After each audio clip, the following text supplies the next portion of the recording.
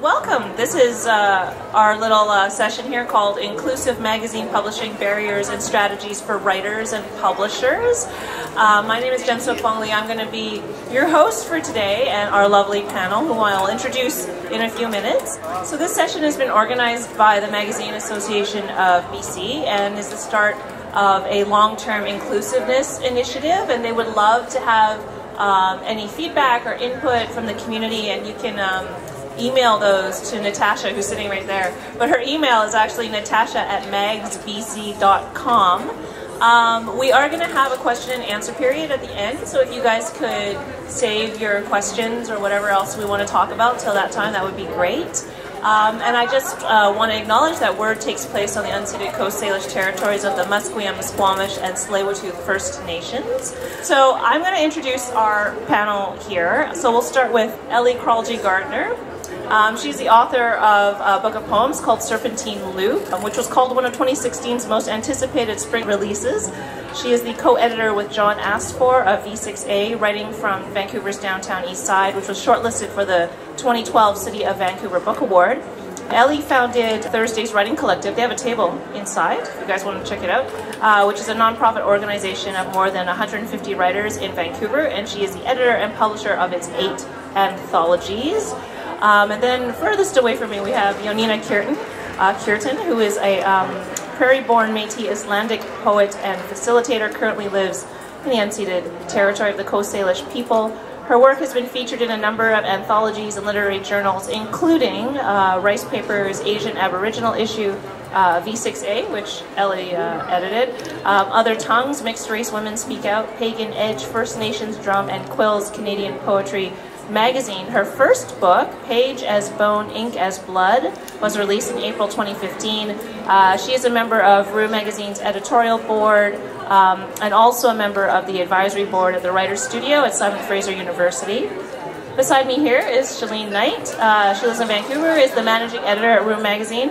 Her first book, uh, Braided Skin, was released with Mother Tongue Publishing in 2015, and her next book, Dear Current Occupant, is forthcoming with BookThug in 2018 and Chelene is currently working on a suite of short stories, which I think is the nicest way to describe a collection of short stories. Um, so we're just going to get into um, our panel discussion. We have a bunch of ideas that we're, um, we want to talk about today. And the first thing I think that uh, we should be talking about is um, barriers. Um, I know all of us are writers as well, so um, uh, let's talk a little bit about our experiences as writers who've experienced these kind of barriers first. Is anyone who wants to go first? Uh, Oh, let's go, Chelene. Yeah, so for me as a writer, uh, I think a lot of the barriers that exist exist within myself. So I think I put a lot of barriers out there for myself as a writer. So there's all these categories that we can put ourselves in, right? So being a woman of color, I put myself in that box a lot when I write. And so I give people permission to also to do that. And I want to get out of that. So for me, I have to remove a lot of the barriers for myself first, I think. The first thing that came to my mind was the fact that I am fairly uneducated. So I am 61. I've never been to university other than to go to the writer's studio. And my time at the writer's studio was a bit lonely once in a while because of that. Because people, a lot of people there did have university degrees, had much more broader language, and so I had to play catch up. And so I was catching up in a number of areas. So I was catching up around education, I hadn't taken many writing courses yet, uh, but we had great mentorship and they encouraged us and supported us. So that removed the barrier and that they even allowed me in was removing a barrier because there are some people who say, oh, you shouldn't be allowed there unless you have a university degree. Well, that just cuts off a lot of people, eliminates them out of the game completely. So, yeah. So the studio is very inclusive. And uh, were they not so, I wouldn't be sitting here right now. I will echo what both of you said. Uh, my own circumstance, aside from the barriers of my own making, including my children, uh, is one of translocation. So I became a writer when I came to Canada from Boston, Massachusetts. And what that meant was that I had to learn the canon. I had to learn the local literary landscape. I needed to learn what Prism International was and who the, you know, the big writers of the Canadian literary scene were. So for me, there was a huge um, upswing in terms of uh, penetrating the local knowledge. Um, so, how are those experiences, do you think, different um, as being from the experience of being an editor or a publisher, which all three of you also have been doing? Um, so, what barriers have you observed from the other side of the fence, if you want to put it that way? We're making it super binary. Uh, well, I'll just take it because I happen to be holding the mic, but I'll pass it. So, um, in terms of other barriers, I don't experience a lot of barriers. Those are very easily surmountable barriers. Um, I was lucky enough to write with people on the downtown east side, and I still do. And one thing I quickly learned running Thursday's Writing Collective was that the um, Vancouver's a cruel city in terms of income disparity, and that I was writing every day with people who were genius and so smart and who weren't getting their work out. And this had to do with one fundamental barrier, which was not only economic, but one about access to technology. So one thing I've been very passionate about is soliciting um, submissions or uh, ways of dismantling the send me an email, send me a text, use Submittable to get your work into a into a literary journal. Any way that I can provide support for somebody who writes alone at home and has never touched a computer or has intermittent SRO access to Wi-Fi um, if that involves leaving a box at the library in order to accept donation submissions or to get um, volunteers to help type things up and transcribe them, because nobody should be blocked from their creative outlet because of something as ridiculous as technology. That's just unacceptable. That's a really good point, actually, because um, I did a, a, couple of writer in residence um, jobs at public libraries, and you really understood how technology was holding a lot of people away from. So somebody asked me, how am I going to submit my poetry to magazines? I said, oh, well, you can do a Google search for all of the, and then he's like, what? I don't even know. I don't understand. And I'm like, okay. So then, you know, and then it's a whole new thing, a whole way, a whole new way of offering them the help that they need to get the work out there. It's a, it's a total brain twist. Chelene, go ahead. Yeah, and I think too, trying to remove these barriers for people is super important. But what are the barriers? So if we're not out there talking with people that how do we know what's preventing people from submitting their work? So one of the things i try to do is reply to all emails that come into room and it's like we get a ton. We get a flood of emails people just asking questions like how can i be a part of your contest if i can't afford the fee? What can you do? And i know that Elee had a program i think was it with subTerrain where they helped they sponsored writers so that they could submit their work to the contest. So i mean it's just knowing what's out there, what's preventing people from submitting their work, and then going ahead and trying to assist them with that is huge. So talking to the people and listening is a big part of it.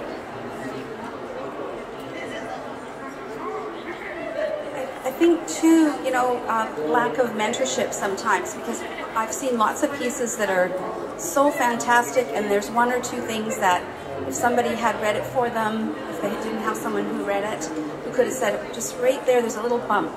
You know, that piece would have been just so good. Or, or maybe, you know, just queried them, what was your intention with this piece and so on. So, you know, to get to the published place, you need to have the piece in pretty good shape. So perhaps when people are sending things in, we could offer more mentorship. And we've tried that a little bit at Room it's time consuming. You're not sure how it's going to be met with, but uh, if a person has no experience with someone critiquing their work, it can be hard for them to hear. But it is a barrier to someone whose work is so close, but they don't have that person, they can't take that class, they don't have uh, mentorship costs money usually, you know. So how can we get that for them? That's a really um, good point. I, I, I did a, I had a, an appointment with somebody who came to see me as a writer in residence, and she was so overwhelmed with how hard it was for her to get to the appointment that when she got there, she burst into tears and then ran out. And I would, oh no! And I'm like, should I hug you? I don't know if I should touch you. But it was, it's, it's, it's that sort of thing that really, you know, and, and her, anyway, it was, uh, so what advice then would you offer to those writers who are experiencing these barriers, who, um, really do want their work to get better because that's everybody's um, goal really in, in, this process is that they want to write better and want to write more. And so, what would you give them as advice if, if they feel that they're not, you know, that they can't submit, or that if they did, nobody would listen? Okay, so I can't speak for the writers. I can only speak for the editors and the publishers. Um, and I can mention what I've noticed has been helpful for some people, but I really defer to the people who have been in that position and superseded those obstacles. So um, one thing is that it's quite easy to make a writing group. It's even easier to make a reading group. Um, there are places that you can go, like sit in the library and find like-minded people. And the minute you start reading more, you, you can start writing more. And even just having a friend listen to you read a piece can be a huge asset.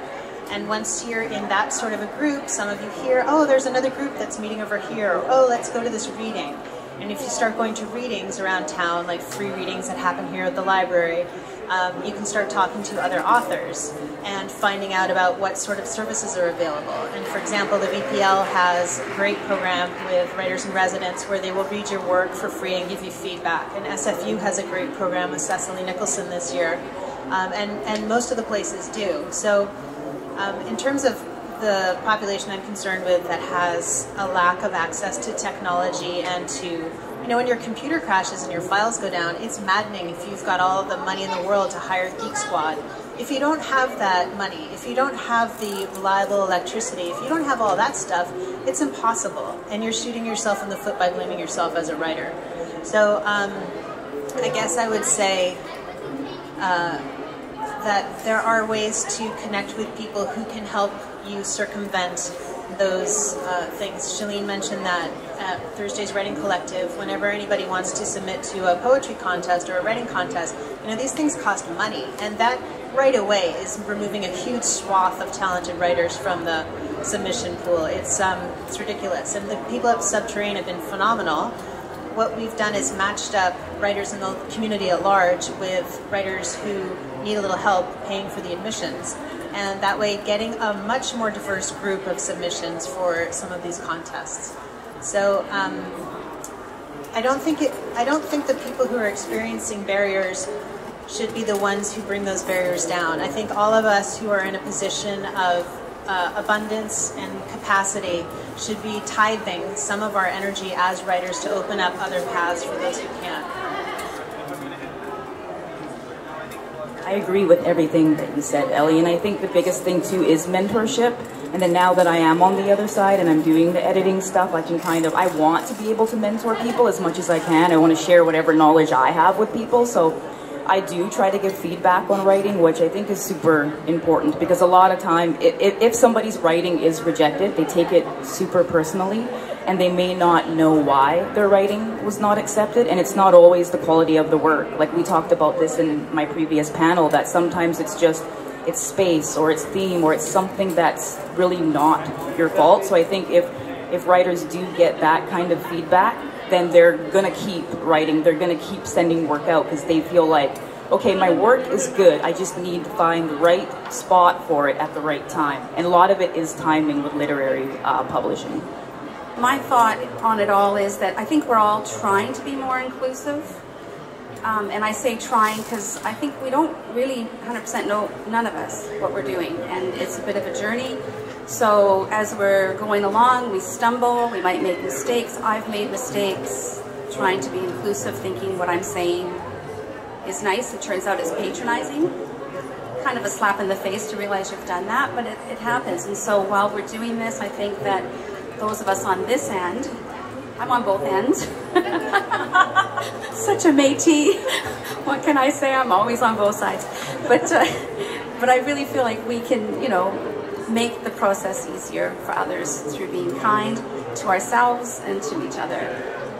A lot of uh, people who are, are, probably interested in what magazines and publishers can do um, to sort of reduce um, barriers and, and who are looking to be inclusive in, in their publishing practices. And um, so it's, in, I've always thought that it's like a many-pronged issue. Um, but I guess my question to you is, like, what can the magazines do? Is it about content? Is it about flexibility with the submission process? Is it about human resources? Like, what what do you guys think it's really about? One thing I notice about submission calls is they go out on Facebook or Twitter. If you're not on social media, you're not going to find out about this stuff, and that's ridiculous. Again, we are we are excising an enormous population of writers. Um, in the olden days, we used to put posters up. We don't put physical posters up anymore. I think that there is um, a huge part of the literary uh, culture in Vancouver that lives only on Facebook and Twitter. And what that means is that it's the same people over and over who are hearing the calls, the same people who are um, submitting. And that's great, and their work is judged on its merit, but we need to think of other ways to connect with people. So, um, you know, we need to find ways to get that information to reading groups. We need to find ways to get that information posted in the libraries to access people who go to Kane or mosque or who are um, in the downtown east side women's shelters. You know, there's not one population that has more knowledge than another. And the more that we can disseminate and diversify our calls for submissions, that's on us. That's on the extremely overworked and underpaid editors and publishers who are dying uh, a lonely death at 2 o'clock in the morning, hitting Facebook page send. Um, okay, so that's one thing. The other thing is we have to identify what are the makeups of our submissions uh, pool. Is it mostly white cisgendered straight guys? If so, let's look at where we're getting those those those um, writers from. How can we reach out to other communities? How can we become a place that is trusted as a publication to nurture and support that writing? Um, I think we have to be less afraid of difference. We have to be more willing to take a risk. Um, and then I think also the notion of reaching out in other languages to writers, because there are a lot of people who are doing fascinating uh, border work with different languages. Um, I know one thing I'm always interested in is finding uh, people who are writing from an Aboriginal, Indigenous, Métis uh, perspective, and I am not in that community, so it's harder for me to do that. Uh, I need to find ways to connect with those people. So it's on me to find that. It's not on them to break down the barriers. Yeah, I think you're right. A lot of people don't put up posters anymore. We don't see that physical call out. But I think what's what Room is, is trying to do is we are trying to get out there. We are trying to do that now. We have flyers. So I mean, I work at VPL as well, so I'll bring a stack of flyers. And I know that the library, especially Central Library, gets a lot of different people hanging out. So it's not just people who are coming to read the books, to look at books, to hang out. People are there because that's kind of their home. So there are people at this library that come there just to sleep or just to hang out or just to have a quiet spot. So if we can, you know, target these people and say, hey, you know, this call for submissions is out. People, you know, you never know. Somebody might see that and say, wow, I'm important enough to submit to a magazine. That's huge. So we do try to get out there and I think that's a huge, a huge part. And we can still do more. We can still do better. So we got, we really have to pick up the slack there for sure. I'm just going to switch gears slightly and back to the writer in residence, if I might. Um, my book would not be published today if I had not gone to SFU's writer in residence, um, and she liked the book. Wasn't, it wasn't a book. I mean, you take 10 pages. She liked it. She said, I will um, introduce you to my publisher. So um, that was Marie Clement. And so my book was published about a year and a half later. My publisher worked with me. So the first thing I submitted, they went, mm, not so much, but uh, we liked, you know, this, this, this, and this. Come back with more of that, and yes. So that was very helpful to me, and I don't know what, you know, people talk about not being able to find a publisher. Well, if you go to places like the writer in residence, maybe that could happen for you. I'm not saying that's a guarantee, but you just never know. Just getting your work critiqued, getting yourself introduced to people. I don't think that writer in residence would even know me if she saw me on the street. You know, I tried to thank her, but so it was very kind that she did that. Um, and but it affected my life greatly. So we all have the power now in the positions that we're in as editors or publishers of magazines to help someone else get that leg up.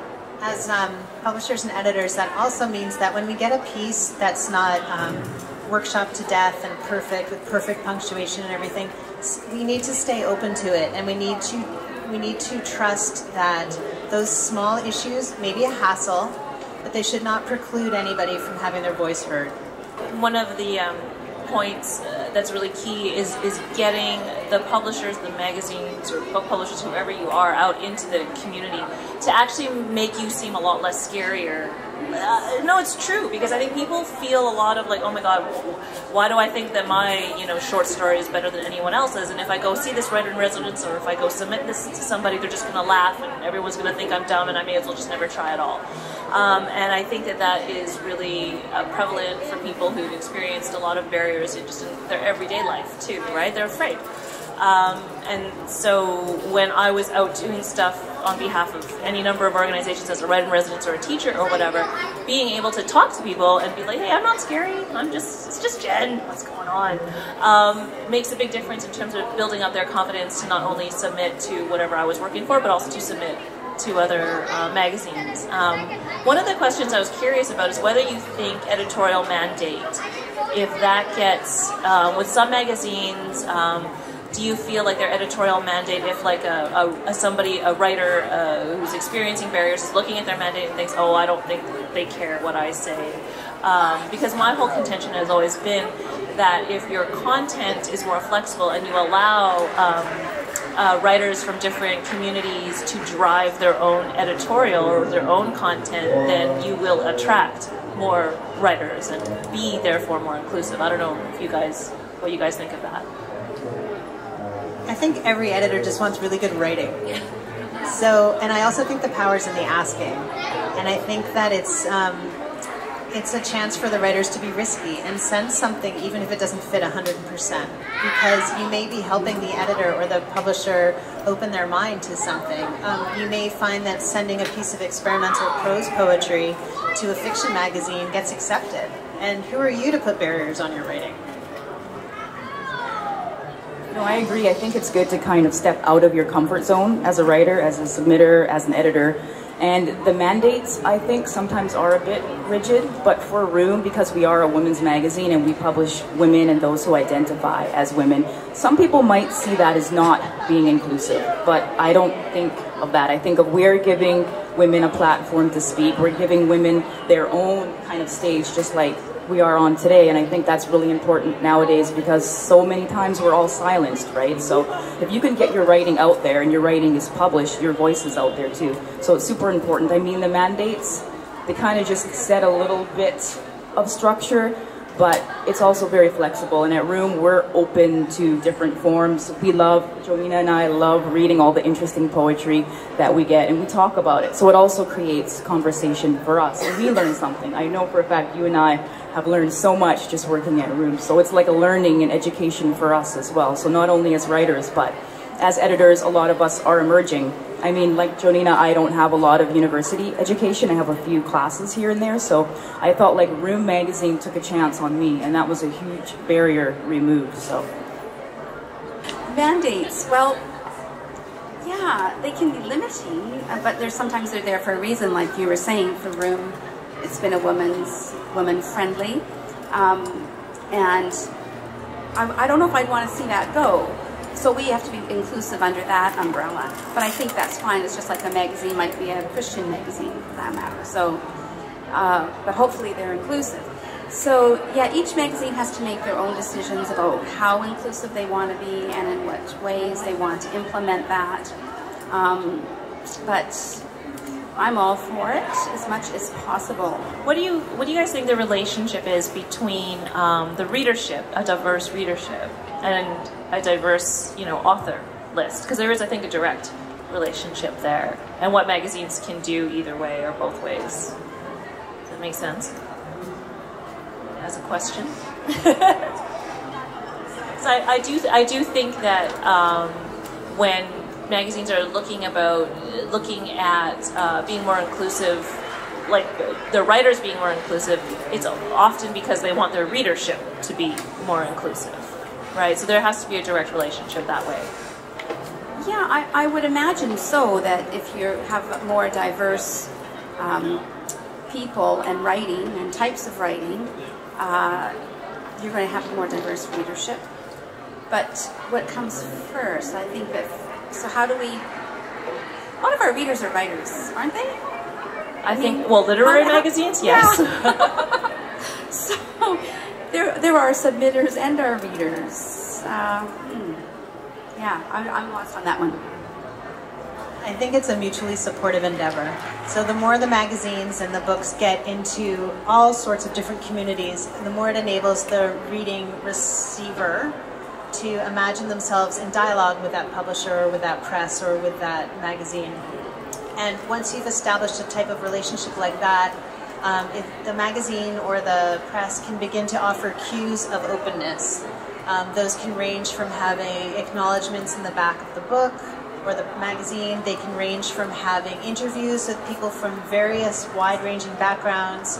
Um, there's all sorts of ways that a magazine or a book can indicate to its readers that it is trying. Because really that's what we want. Nobody's going to nail it, but we all want to know that somebody's trying and at least considering. You can even issue a, a small line in your publication that says, we are pursuing notions of inclusivity and would like to hear from you. Um, we, are, we haven't defined our terms, but please contact us by writing to us at, or, you know, visiting us at Word or emailing us. I think it's, it's, um, it doesn't take much for us as readers and writers to form an affinity with a publication, but the publication has to acknowledge that they're open to it, and then they have to actually listen to their public and actually begin to embrace those people by making it easier for them to appear in the pages. And I think a big part of that as a magazine editor is we need to find out what our definition of diversity is. What is our definition of inclusivity? So if I say, you know, I'm all about diversity, that might mean something totally different to me than it would to, to you sitting in the audience, right? So it's more than just race and ethnicity. Being inclusive is about so many different things. And we do get a lot of feedback um, through our, our email that people want to see older women writers. People want to see, you know, people with disabilities publishing. So we need to really listen to that and think about that when we're selecting our pieces that we are we are publishing and, and letting people know that yes, we are looking at that. Yes, we are aware and yes, we want to do better. I just have one more question before we open it up for um, questions from the audience. If there was um, one thing you could say to a magazine who's looking, trying really hard to establish an inclusivity um, sort of um, initiative, what would you say? I would say ask everyone you know what they need and want. Ask your readers, ask the people in the street, leave forms to be collected at cafes, um, cast a broad net. I say when you're thinking about making decisions with your, your magazine or your publication or whatever it is, think about what your definition of diversity truly is and then just really just throw that out there and see what you get back. Because a lot of time what you what you think people want is not really what they want. So you really need to ask people. You really need to be listening all the time and realizing it's always an ongoing thing. It's not just well we've done this and now we've hit the end and we're done with our diversity. It's forever. It's always looking at that. So with every single decision that you make as a magazine you need to ask yourselves am I being inclusive? Am I including this person? So it's it's a tough thing, I think, but I think it can be done if we're all aware of it and we're all willing to do the work. Then we can do it for sure. I, I, I did a similar session um, last year um, about inclusivity, and I, I felt a lot of fear from some magazines. They just we don't know what to do. Please just tell me what to do. And I'm like, well, I can't tell you what to do. That wouldn't be very inclusive, would it? Like I just didn't feel. But it was this uh, this great fear that they're not doing enough, or that what they do will not be seen as productive enough, or you know whatever. Um, and my my advice to them at that point was like the fact that you're even asking those questions is a really great first step. So keep asking, keep asking. Nina, if you want to talk, please let me know. Um, I just want to say that this panel, the way it came about, is a good example of somebody doing it right. So Natasha organized this panel, and um, as we were going along, it kept occurring to each of us things that we had forgotten or ways that we weren't thinking as fully as possible about inclusivity. So we started thinking about, okay, well, what about nursing mothers? They should feel welcomed. What about having an ASL interpreter? What about this? What about that? Is it wheelchair accessible? What about, you know, where are we letting people know about this? Um, we ask people through social media, if you have any concerns or questions, please let us know. So, you know, I just like to extend that to anybody to once this panel is finished, if you have questions or concerns or ideas, please find me and let me know because I'd like the conversation to continue. Oh, and another thing about the inclusivity was that that's that's why they're filming this because there are people who couldn't be here, physically couldn't be here. So they did a great job of uh, troubleshooting that. So thank you. Um, I think we're going to open it up to the floor if anybody has any questions or, um, yes. Do you want the mic? Yeah, here. Thank you. So I came here prepared to ask a question that I had already asked on the Facebook page and got a reply to from Elee. And was it you, Jónína? Natasha, hi. So it was, I, I belong to a group called, we call ourselves Anglo-Indians. We're a dying group of people. We're going to be eliminated. I'm the last generation of people to self-refer as Anglo-Indian. Uh, it's a mixture of English and Indian that were created by the English in order to have a population that would work for them. So when independence came, the British left and left us behind with a severe identity crisis. And we're dying, and I really think our story needs to be told. Um, and of course, I elected myself as one of the mouthpieces of the story.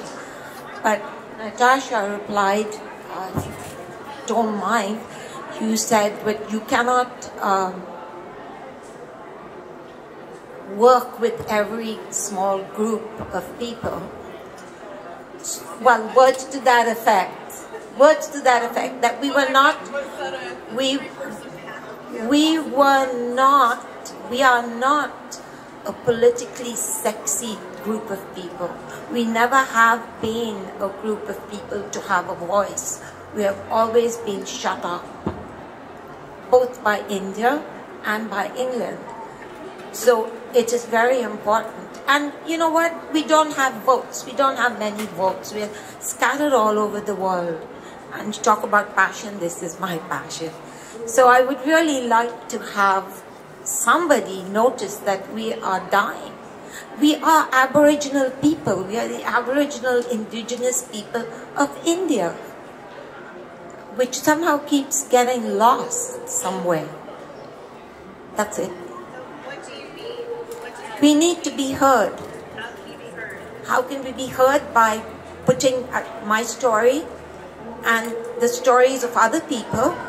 Uh, I wanted to interview different people from from my community because you have to narrow it down so I come from a small Anglo-Indian community in Nagpur, India, and we are scattered all over the world, and I've already started asking questions, and and that's what we, we, we need to be heard, right? Yes, thank you.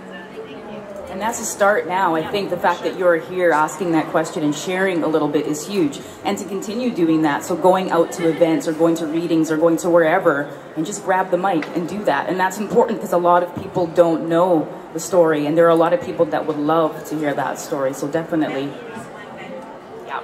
And she's an amazing mentor. She's awesome. You got a good one. Yeah, you have a question. I'll come to you. Hi. Um, I only happened to hear about this from Natasha earlier this afternoon, and I'm glad that it's occurring. Um, I fall in the category of being, dis- being disabled, um, and especially with invisible disabilities. Um, the, the uh, it, it's more challenging uh, to be recognized that way, but also uh, most people are unaware that on government disability, it's almost between four and five hundred dollars less per month than what seniors receive. Um, and if you're lucky to get into social housing, affordable housing, um, the way that they're working now with a lot of nonprofits, it's getting close to almost 50% um, when they do the flat rate. Um, and then there are some of us that are not supposed to be subject to that flat rate, but still are. Um, and so it really makes it challenging to um, sometimes think, okay, I'm, I'd like to submit to that, and then finding what the fees are. I mean, ten dollars doesn't sound like much, but um, when your rent is getting close to half of your income, and um, you have all of your utilities and groceries and stuff on top of that, when it, it frustrates me even when somebody says, well, it's only two dollars, right? So um, I, I would love to be able to see that whether it's subscriptions or submission fees, if there's a discount for seniors, please include the disabled as well. You know, it's, you know, it's even with stores and stuff. It's it's great that you know seniors get discounts and they can flash their gold card, um, but uh, the category is usually seniors and students. So you know, just add one more word in there.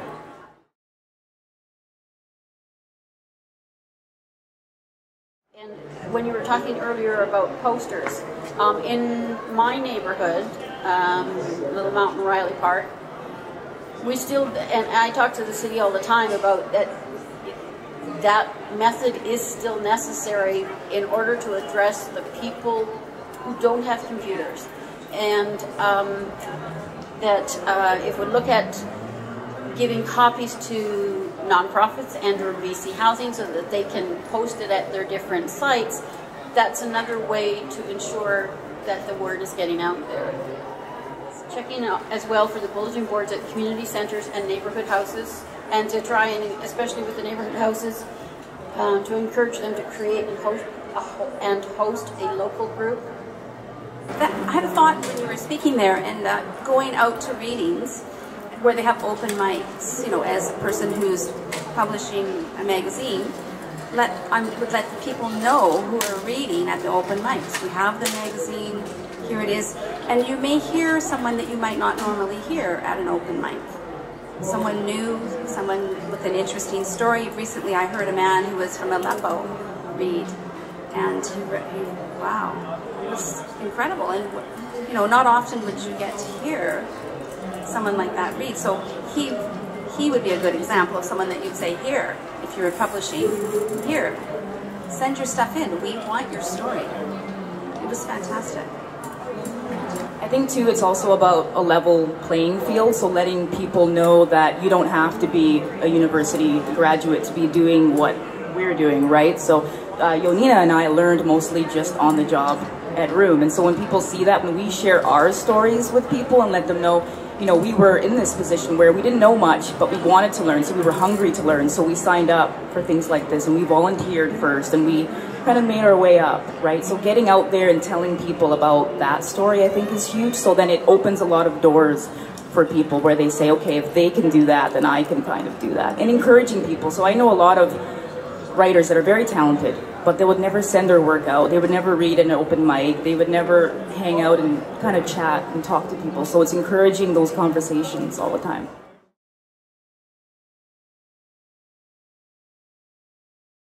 So from a publisher perspective, you're talking about trying to monitor what kind of submissions you're getting and what kind of pieces you're publish publishing in terms of what groups you're representing. Um, I know a lot of people are uncomfortable giving that kind of uh, personal biographic information, especially before the piece has been accepted or not. How are you gathering data on that? Are you just doing people who self-identify in their bios, or do you have a survey, or how are you going to get that information so you can make decisions based on it? I'm less concerned with filling out little charts and more concerned with um, contacting as many people as possible and letting them self-select for if they want to um, submit. If I'm getting the same piece over and over again, I'm not doing enough as a publisher. I want wildly different pieces coming in from different perspectives. I'm not going to need to look at your bio to um, determine if it's if it's something fresh. Uh, if I'm getting the same stories that take place in a university and you know it's about a heteronormative relationship, it would be bizarre to me if that same story is being written 10 times by a racially genderized different diverse community you know but if if i can if i can contact enough people from enough different places, from from a, from a variation of um, situations, the work is going to have enough difference in it that I don't need to check boxes. Well, we are interested at Room Magazine uh, in being inclusive, so we do like to know the information when people volunteer, volun, voluntarily provide it in their bio, but we don't ask for that necessarily, right? So we might make an assumption out of, based on the piece, and again, that's a broad assumption we're making. We don't know for sure.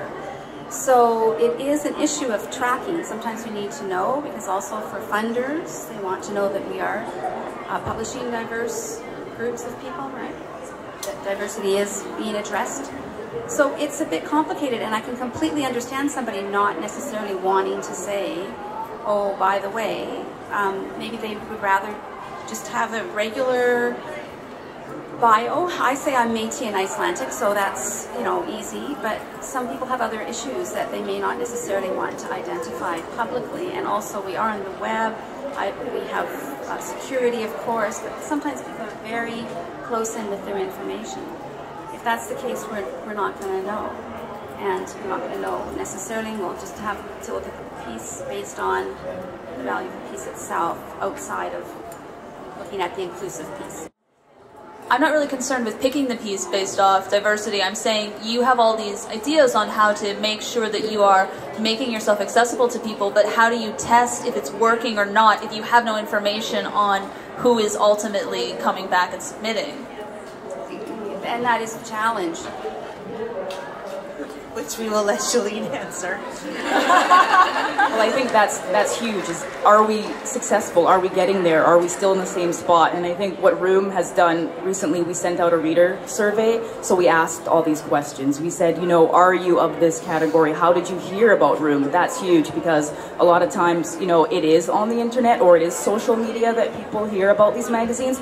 But it can also be, yeah, maybe it was that community center that I went to and I put up that one flyer and I got one submitter from that. That's all we ask is that we're at least trying to do that. And I think that's the biggest part is going out to all of these places, like Elee said, is how can we do better? It's just keep putting yourself out there, keep putting the word out there because we want writing from all over. We want you know, that person that might not have a home but is at the library Monday to Friday, 9 to 1, just hanging out there, and you know that person, and you know they're sitting there scribbling in their notebook. Maybe they want to submit that piece of writing. So if we can get that one person, I think we're, we're on a pretty good path. There's so many different types of um, barriers. Uh, inclusivity isn't just about race, and it's not just about income. For example, if I were doing a youth issue, I would be an idiot to only post on Facebook. I would be all over Snapchat so fast your head would spin. and I know nothing about Snapchat. But I would have to be thinking like a 15 year old. I would have to, I mean, it, I need to do the research on that. And I have to keep doing the research on that. And I have to ask 15 year olds. And I have to, you know, go into the schools and send flyers. So I don't know that there's a point that you're ever done, like Chelene says, and I don't know that you ever know that you've done it all or done it well. But the more that you talk to people and get feedback from your writers about what the troubles are for them in terms of submitting or who they how they think you can increase your inclusivity, that's a start.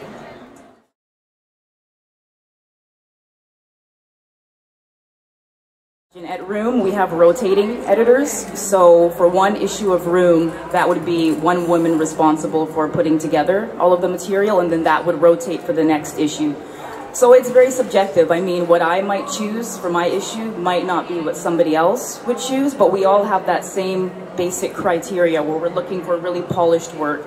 We're looking for a unique voice. We're looking for, you know, somebody whose story we know needs to be out there, and we want to help them get that out there.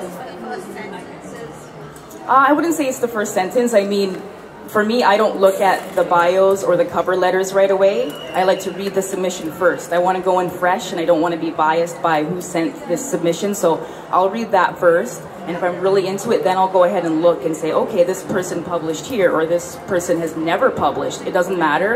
It's more about that piece of writing or art that comes in front of me. And it's a lot. It's a big, it's a heavy, heavy pressure. But I mean, we do seek out advice from our, our other editors. It's not just one person. For example, I'll get a piece and I know I like it, but I work together with Jónína on an issue, so I always ask her opinion before I accept a piece. So you never know.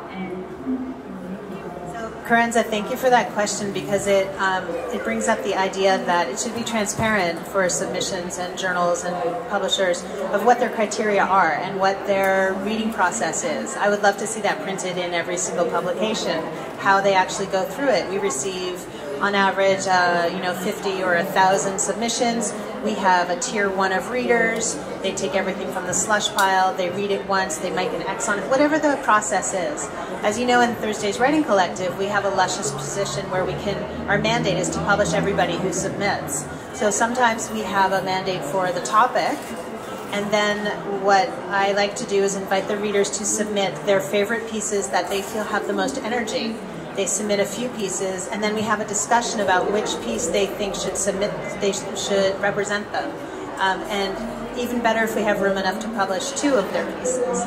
So for me as an editor or publisher, I like to include the person in the conversation. I know that other journals have very strict guidelines about, oh, well, I just published a piece about cats last month, so even though this great piece came in, I can't publish it because it's about cats too. So maybe I'll hold it and ask this author if they can send me something else on another theme. Um, but I think it would be fantastic if people started revealing how they actually make these decisions by putting a little blurb at the foot of their website or in the back page of their magazine. It's so, it is subjective. So it is subjective to who is reading the piece. And, and in our magazine, it actually goes through a couple of layers so that your pieces will come in and we have first readers.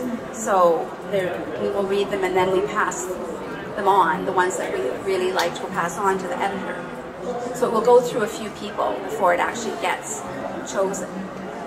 And it is subjective. For me, it's always something that hits me, you know, in the gut, in the heart. Those are things, I'm more concerned with that than technical skill. So I'm always looking for that visceral feeling from a piece. Does it, does it, you know, grab me? Does it speak to me? Beginnings, endings, very, very important. Middle, of course, is important too, but, you know, does it grab me right away? I want to know, does the ending make me feel, wow, that was cool? Um, I think that's it. I think we're at the end of our time here. So if everybody would join me in thanking um, Jónína Kirton, Elee Kraljii Gardiner, and Chelene Knight, and also the Magazine um, Publishers Association of BC. Thank you.